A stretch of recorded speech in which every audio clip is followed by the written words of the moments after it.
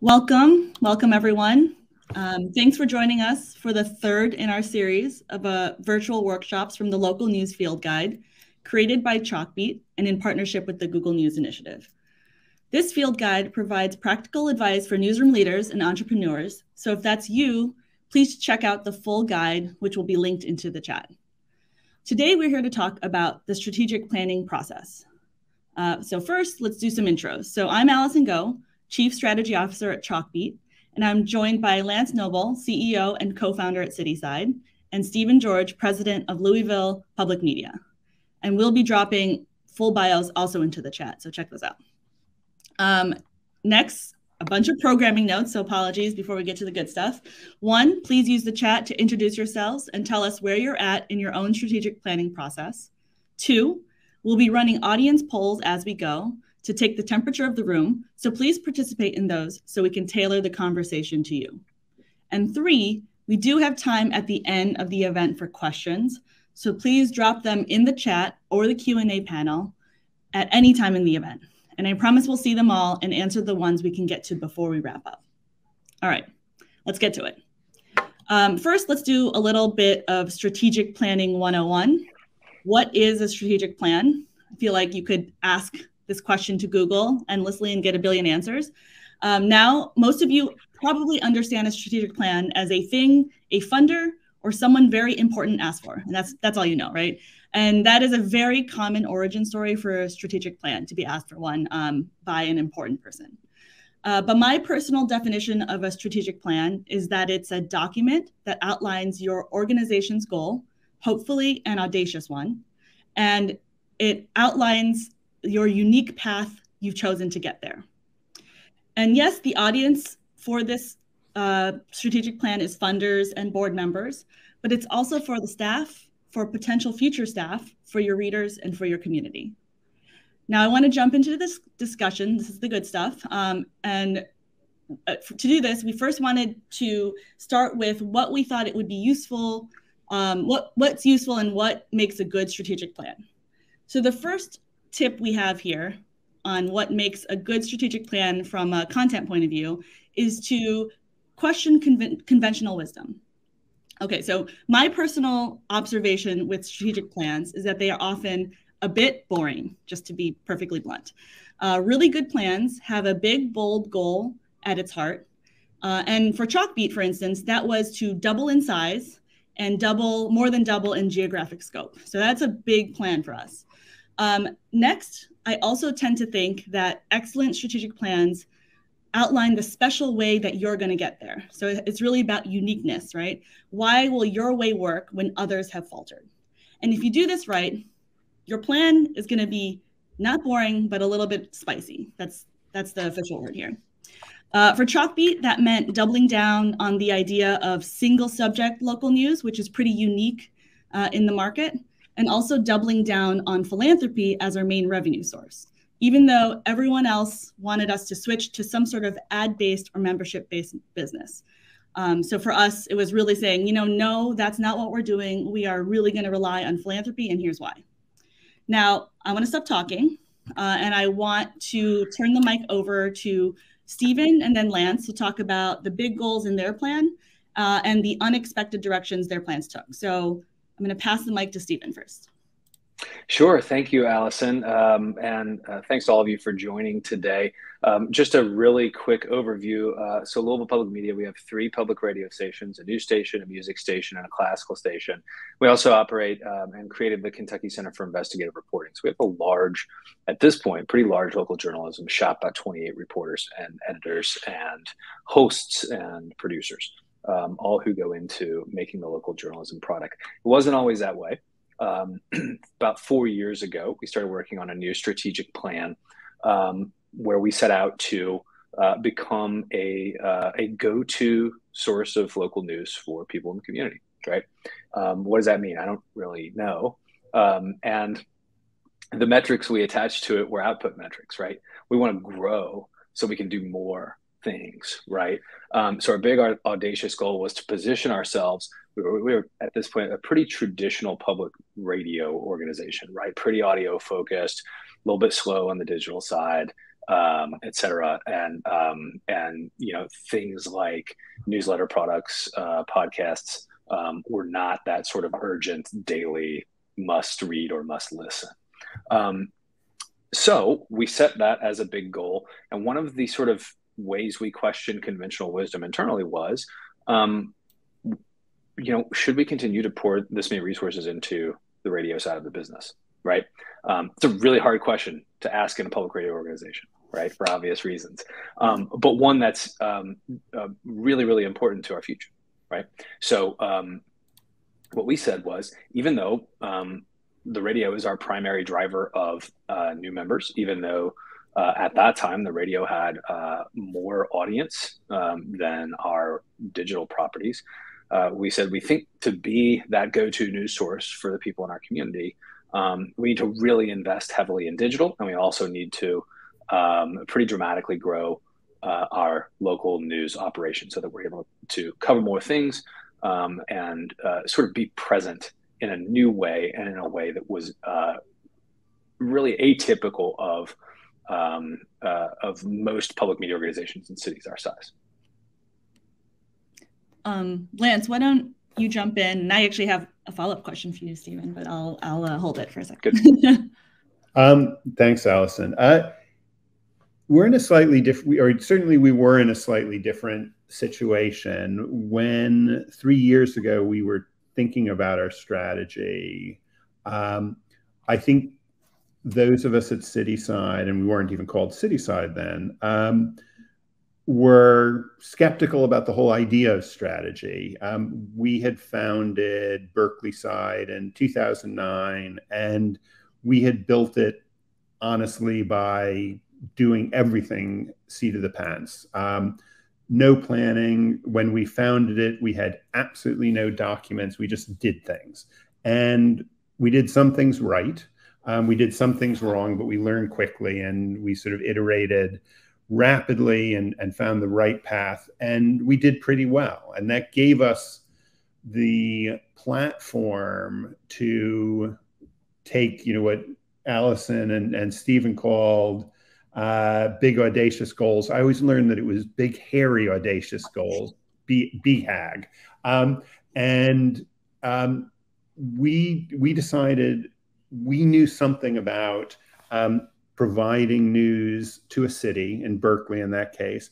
We wanted to do more, and certainly, I think I'm sure everyone in this call realizes that the crisis in the country where local journalism has been declining or vanishing in so many places, our urge to do more was something that could be very important for communities we worked in. Um, so our goal was to launch in another city. We chose Oakland, our, our next door city.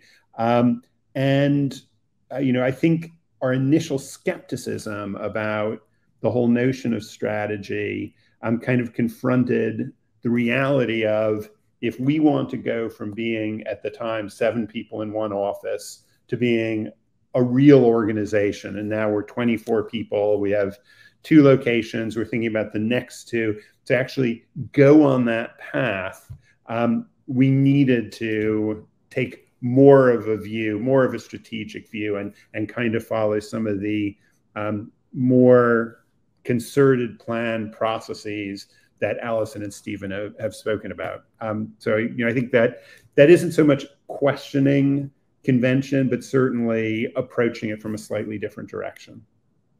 Now, Stephen, I'm curious when you suggested that a public media entity should de-emphasize radio for a bit, how did that go down? Like, what, were, what was people's response? Um, tepid. Um, I think um, you know, it, it's the organization was ready in some ways culturally for a big jump forward. Um, but in other ways, it, it, it wasn't, right? So, I mean, I'd say almost rhetorically, we were ready for a big change, right? So people think, okay, I'm ready for something new. It's time. I understand why. And then when we start to say, um, well, rather than uh, create a show, for the radio, we're going to do this instead. Um, once it starts to get down into the practical, it gets mm-hmm. a lot harder for people to understand. mm-hmm. um, mm-hmm. or maybe make that change. Also, um, and this is really important, um, y- you have to have a lot of uh, tolerance for risk and uncertainty when you um, when you start to see the bulk of your audience um, growing online where you know literally we have a dollars to dimes challenge right in terms of fundraising. We're not raising nearly as much money online as we are um, through more traditional for us traditional means.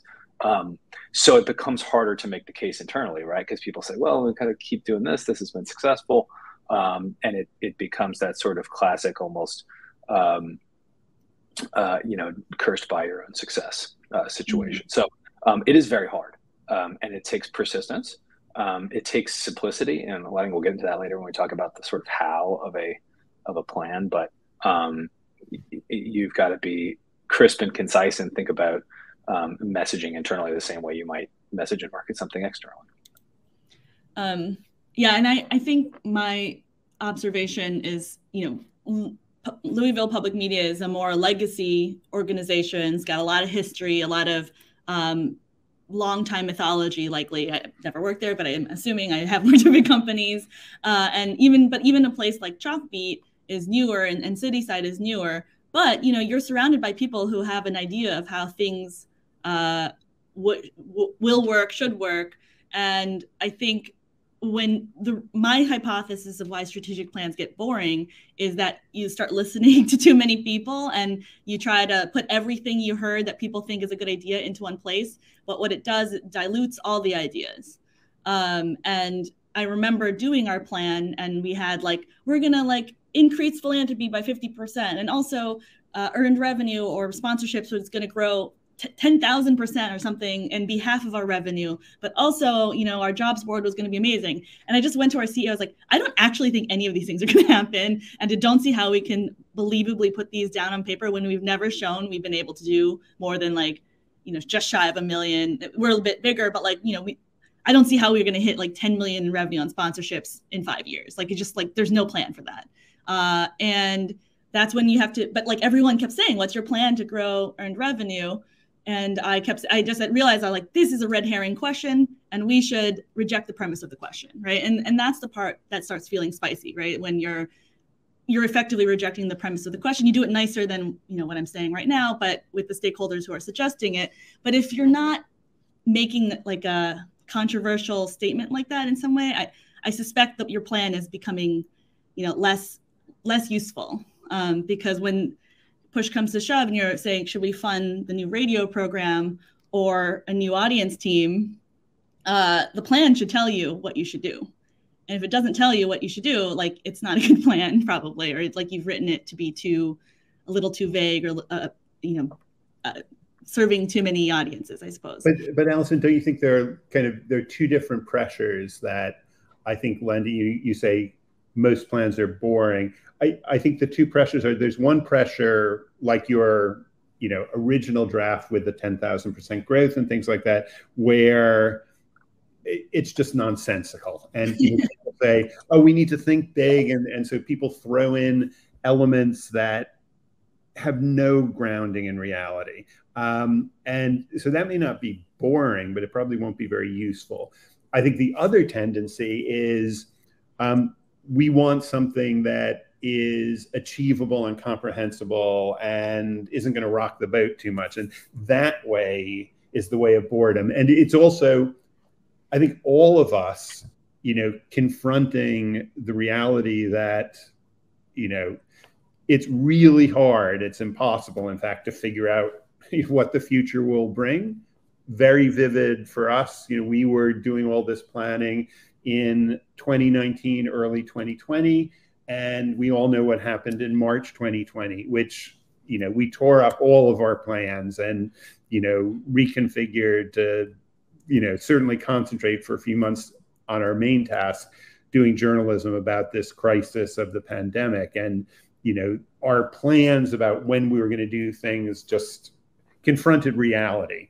Um, and I think, you know, worrying about what might happen probably forces people towards conformity and boredom is, is part of it i think it's just it's it's maybe less boredom and it's just it's it's not memorable right? I mean i think it's important to make a strategic plan memorable.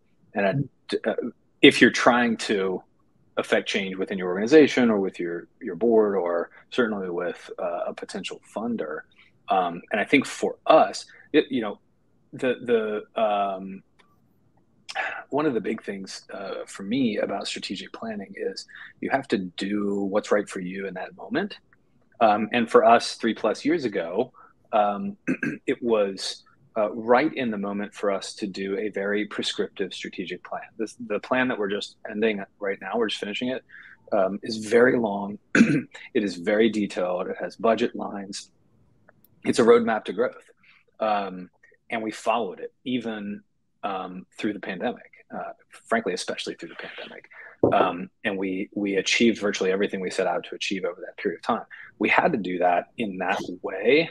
Um, I think from a cultural perspective to get people to buy in, right? To show them if this then that, if this then that. Um, and we're taking a very different approach now. I think we'll maybe get to that later, but um, it's because we're in a different moment. I, I, don't know if this intrudes on. We'll get to this later, but Stephen, in, in, the green room discussion, I think you you told Alison and me that your plan, whatever it was three years ago, was a certain length, and now you're aiming for something very different. That might be interesting for people.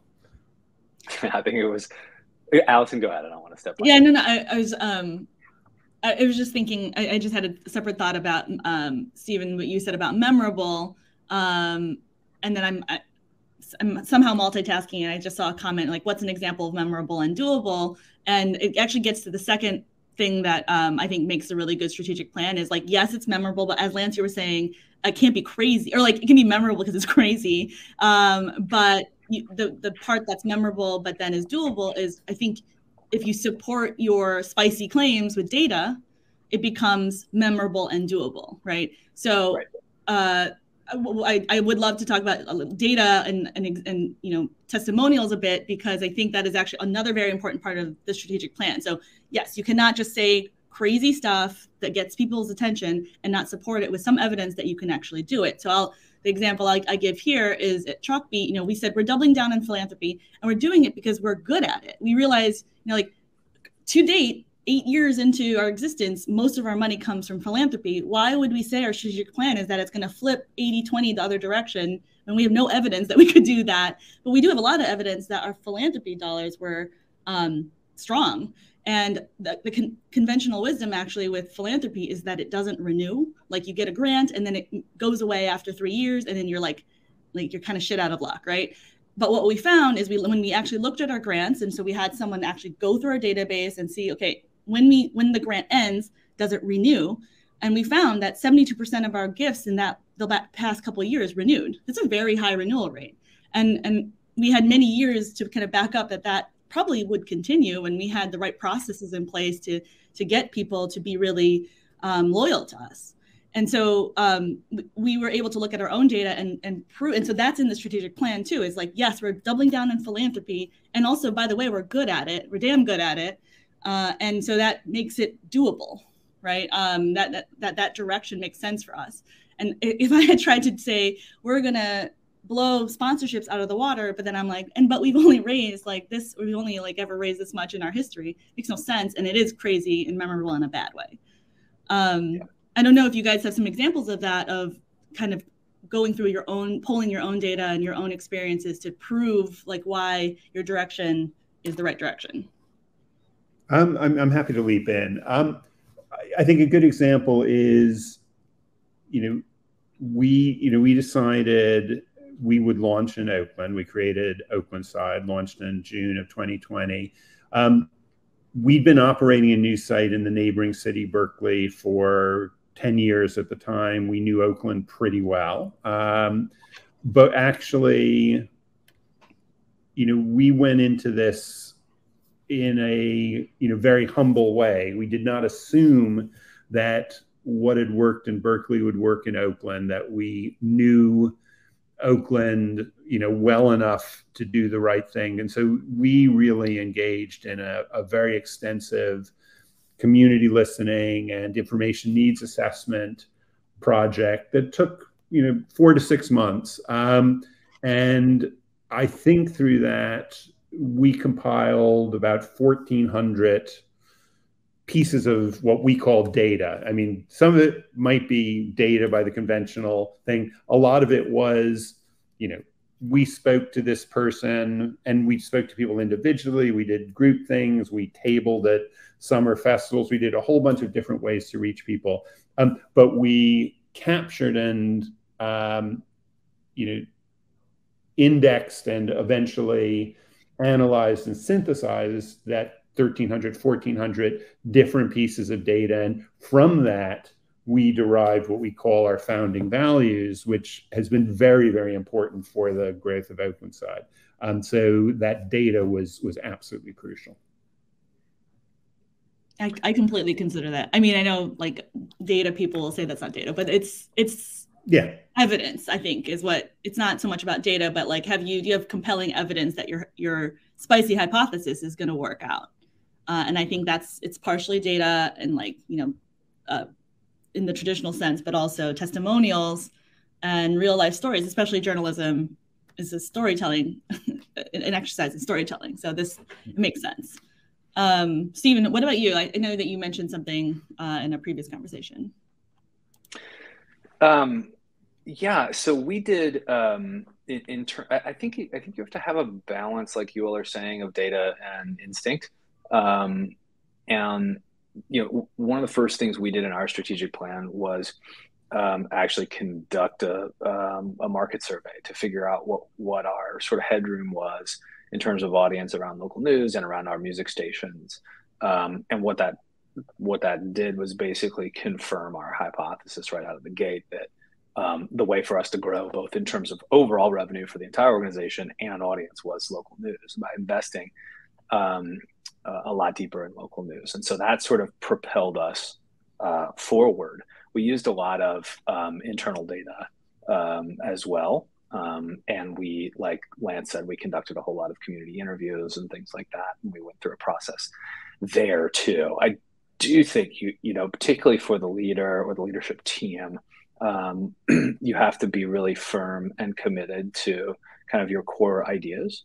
Um, you know one of the one of the the discussions we often have uh, with our board and i just had it with our executive committee yesterday talking about a new strategic plan is um, you know how much do you want beyond the scope of what journalism does how much do you want to commit to try to do right?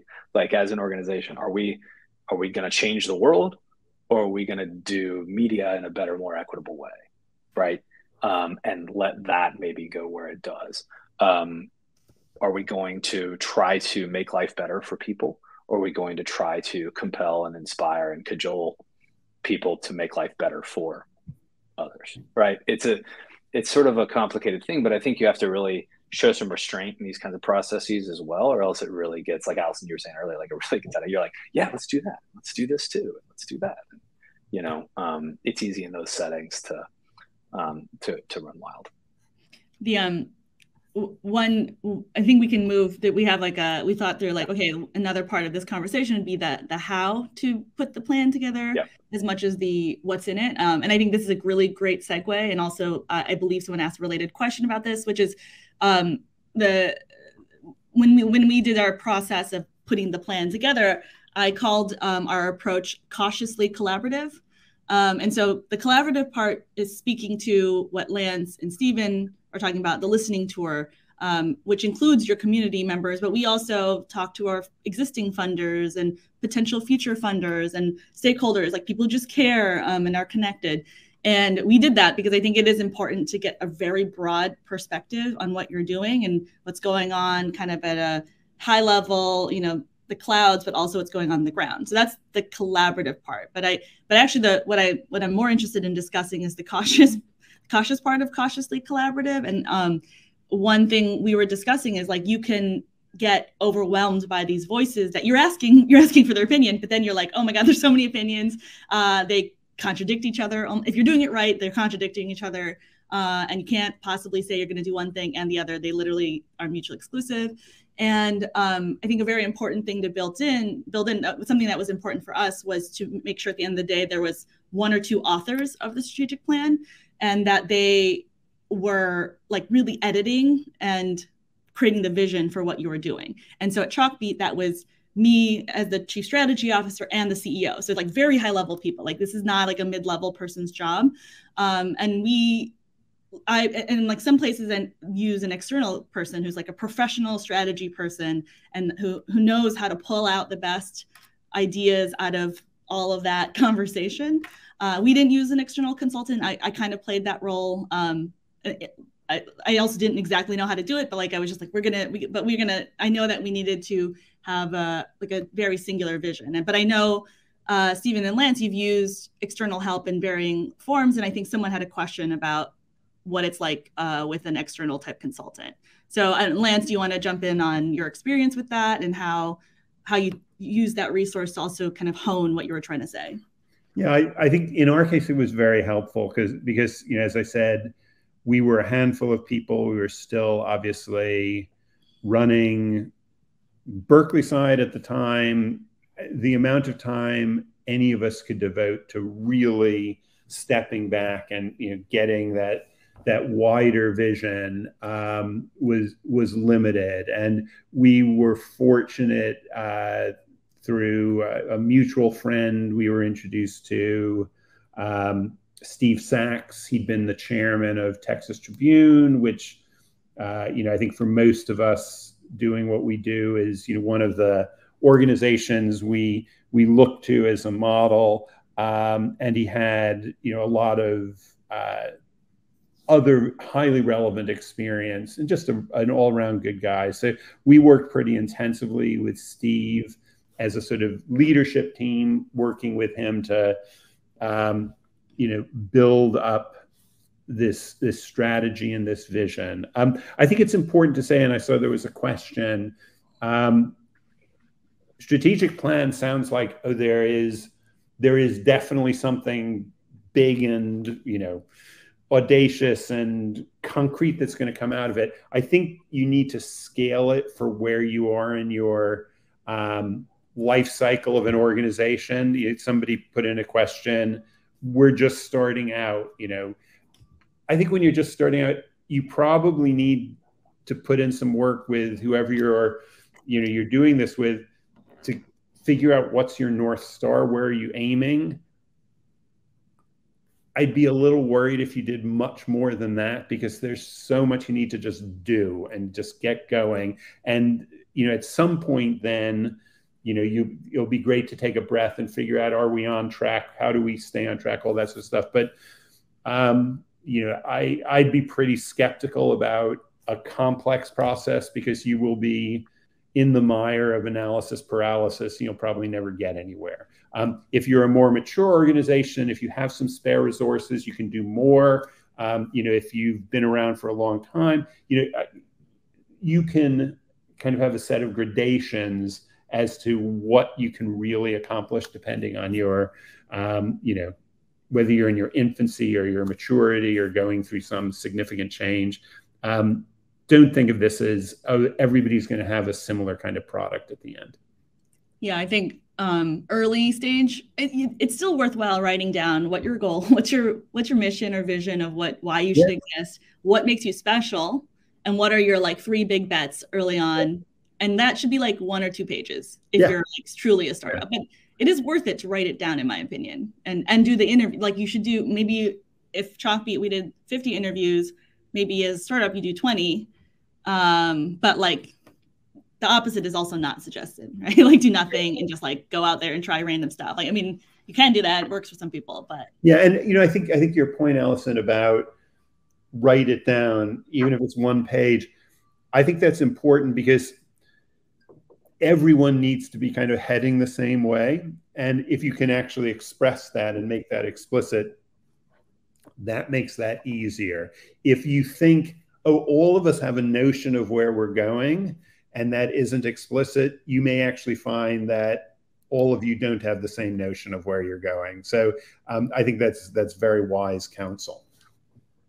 And the bigger you are, the the harder it is. The or maybe the quicker it gets out of hand. You have to have a decision making rubric, and um, that should be the simple and memorable thing, right? Our our strategic plan was like 30 pages, but I could put our mission, vision, values, and goals on one, right?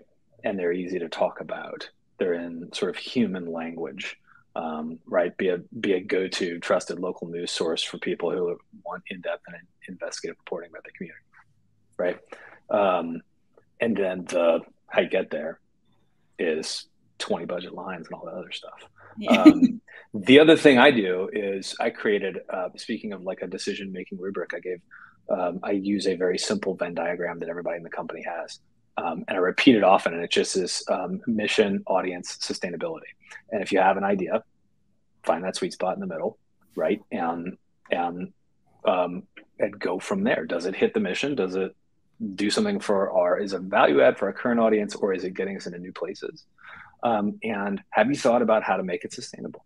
Um, uh, and that what that's done is clarified the creative process internally um, and also forced people to talk across teams and silos, right? So um, editorial leadership who wants to do a new podcast, they have to talk to sales and figure out is this a is this a sellable idea? Is this a sponsorable thing? You know, on and on, right? So it um, it's a very simple and again very memorable thing um, that's easy, uh, but also uh, I think drives uh, better judgment and decision making. I love that. I've cribbed it. I've got it in my notebook. um, things you wish you knew before you at the start of having a facilitator or consultant. That was that's a question here. Anything?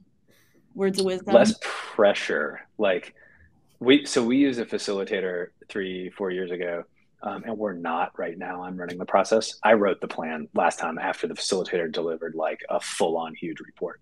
Um, and I just to reiterate something earlier, I think it's that Alison said, I think it's really important that your CEO or your top people are writing it. Um, yes. You know, um, I put an enormous amount of pressure on myself. Uh, I think as we were going into that, the first process um, with the facilitator and um, you know the the facilitator being present relieved some of that um, which was nice right so as the ceo i'm able to like sit and sort of observe and think and, and respond and not have to sort of manage the process as well so depending on how you like to work i'd say you know find something that's suitable for you that suits you and your style and find somebody that uh, in a process that um, also does the same for your board um, you know now we're just in a much stronger, better position to be able to have a less prescriptive, more directional strategic plan. Um, and um, you know, the the the board and I are in um, pretty tight alignment on the direction of the organization. So um, it felt like this time around, um, it, you know, it should be a much different process.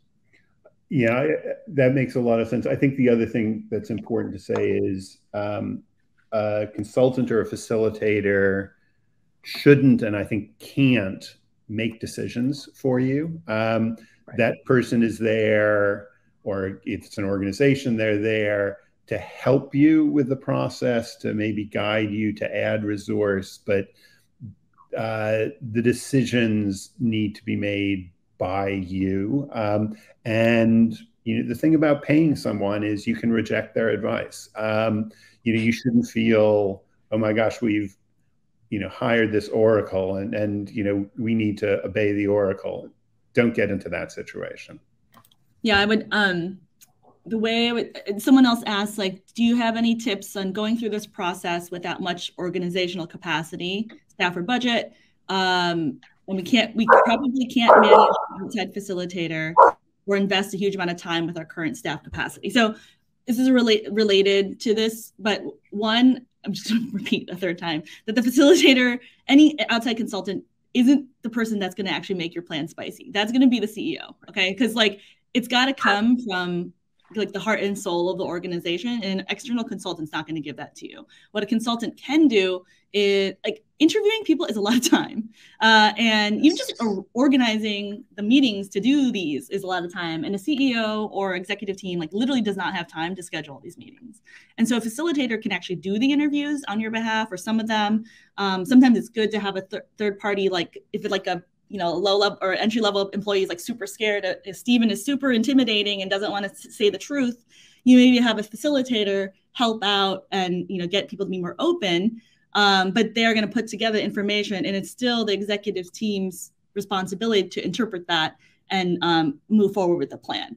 But um, it's hard for me to imagine this is a lot of work. There's just no world where it's not a lot of work for the ceo or whoever is drafting this thing and the interviews have to happen you know it's if you don't do the version of this where there's like a, some amount of work that it feels like whoa that was a lot then you're probably not actually doing a very good strategic plan. So I just don't know how to, this question is hard because I don't think you can really have a good output unless you've really like said that this is an important priority to do. Um, and you're going to get something that's pretty milk toast if you don't put that time in. So I, I don't. It's like a it's like a eternal problem here. Um, it's possible to get funding for just strategic planning. It's called capacity building. So if you're in the nonprofit world, that is an option. A lot of people like to fund things that are like one-time investments. So you might be able to find somebody to give you like a 10 or 20 or $30,000 grant one time to hire a facilitator. That might help. And that is a real thing out in the world. Um, but it's a little chicken and egg because you got to convince someone that you have a plan worth investing in without having the plan. So I don't know. Um, but it's the thing. Uh, okay, that's one question. I, I, don't know if you guys wanted to add anything else, but I thought um, that was a common question. Okay, so the eternal question about the board, I think there is, how did you hmm. work with your boards on your plans, and when did you bring them in? Um, I have a 24 person board. Um, we were talking about this before, and I was a little bit. Uh, uh, I'm the outlier in this group with a board that size. Um, it's it's really great to have a board that size for a lot of reasons, and it's challenging for a lot that you probably can imagine too. Um, when it comes to strategic planning, um, you have to have your board chair aligned with you. Um, I'd start with your executive committee if you're structured that way, um, right? Which is a smaller, sort of more uh, theoretically at least more uh, influential um, uh, group on your board. Um, bring them in at the beginning um, like right i mean before you start right? I'm thinking here's we need a strategic plan. We, we're working on it. I was thinking maybe we do it this way. What do you think right? I mean um, i think you need to make it really open. Um, and then the other thing you have to do with your board during a strategic planning process is say no um, which is hard uh, you know for a lot of reasons. Um, but uh, you know your board members uh, all coming from uh, likely uh, the right place, will introduce some ideas um, that will uh, that could pull your focus away, um, or uh, or may just not comport exactly with what you know to be um, your operations. So I, I, you know, I think you have to have the board in from the beginning. Certainly, you don't want to surprise anybody on the board with anything you're doing, um, but you ought to have, you need to have that sort of clarity of mission um, and and uh, at the outset. And um, uh, I would assume that anybody who's already on your board um, is aligned with with with that mission um, already. So, um, my yeah, I I concur. Early. Yeah. Early and, and all the time. Um, that's literally yeah. they're there to help you strategically. Like that's the point yeah. Of board. Um, and you should have board members who are strategic in nature. Yeah. Sometimes that doesn't happen, but that's the that's what you should hope for. Um, yeah. Let's, let Ellen and Lance, if you wanted to add, but uh, there's one more question I think we can squeeze in, and then. Yeah, no, my confidence in Stephen's ability to manage a 24 person board has soared because that was a model answer. if you can, if you can manage. Thank you, Lance. 24 person board, you can do anything. Um, okay, so then this is a really quick question, maybe. Uh, is there an industry standard or best practice for the number of years in a strategic plan? One, three, five, and 10. What does that depend on? Any hot takes here? You may know more about the industry standard, Alison. I think you've gotten more deeply into this process. I, would reemphasize my point of earlier that I think even if there is an industry standard, um, your where you are in your life cycle at an org, at an organization is going to influence that greatly if you're at the absolute start, like you haven't done anything, you just have an idea, maybe thinking three or five years out. Sorry about my dog barking in the background here. Um, is uh, is fine in some loose way. If you try and get much more uh, granular than that, you're kidding yourselves. You don't know what one year is going to bring, and you know, looking three years out is nearly impossible. If, if you've got a track record of over the last several years we've done this and we know what steady state looks like those you know looking three years becomes a little more plausible. Um, so you know I, I think judge that by your organizational needs. Yeah. Stephen I total I totally agree. Um, we did three years because we had that track record and we had really predictable um, income streams that sort of formed the foundation of uh, the revenue side of our plan. Um, you know, I, I, would say also I'll give you an example, um, and this kind of crosses over this question and the board question. Um, about six months ago, I went to um, my uh, board and said, you know, based on our experience over the last three years and, and what COVID did to everything and where we think the economy might be going right now, I would I would um, urge us to do a one year plan rather than a three. Um, and they, after a lot of discussion, kind of said, "Ah, nah, we'd like to do a three year plan." So, you know, you got to be willing to um, to give a little bit too um, uh, particularly when you're managing a, a, a larger board. Um, but uh, I think the outcome has been tremendous. Um, I'm very confident in the sort of outlines of our upcoming three-year plan and the strategic pillars we're building and all that. So, you know, yeah. Um, I think they were right. Um, I think my answer, I do think the more immature of an organization you are, the more likely it's going to be shorter time frame because so much can change and how fast you're moving.